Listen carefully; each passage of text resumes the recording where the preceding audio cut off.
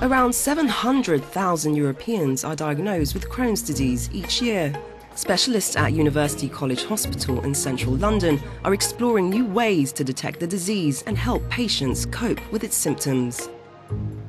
It really is uh, a very nasty disease, and people need to be able to uh, realise that and just don't have the, the mentality of, oh, it's just going to the bathroom all the time, because it, it's so much more than that.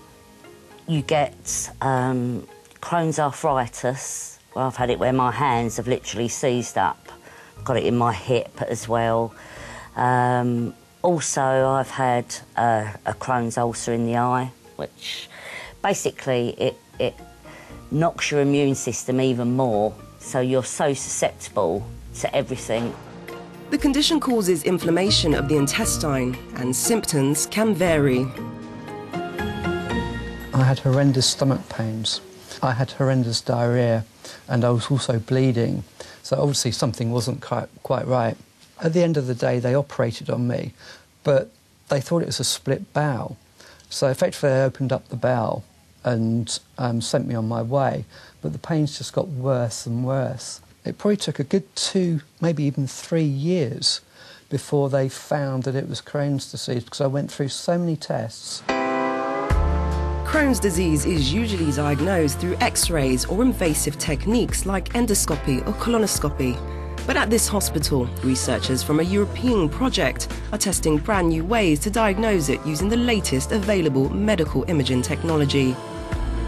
Radiologists are testing magnetic resonance to look for the signs of local bowel wall thickening, a common early sign of the disease.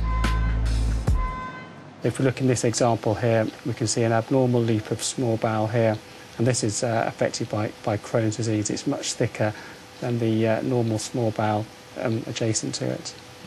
From the patient's point of view, this is a very safe test. We don't use X-ray radiation, so therefore there's no long-term uh, disadvantage to the patient.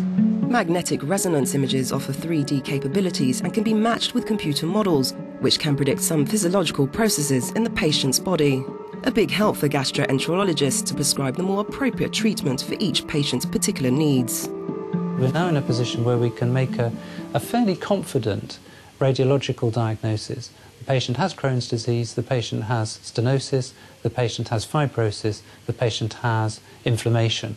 If we can then semi-automate that by the computer analysis using all the various scientific algorithms that are encompassed within the program, then we stand a chance of, of fine-tuning that even further.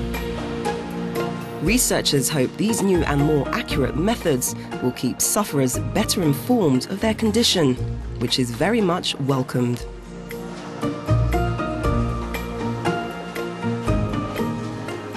The research is fundamental. You know, we've got to find out what causes it and if there could be a cure eventually, especially for the youngsters now, because it's heartbreaking to see so many young people with it.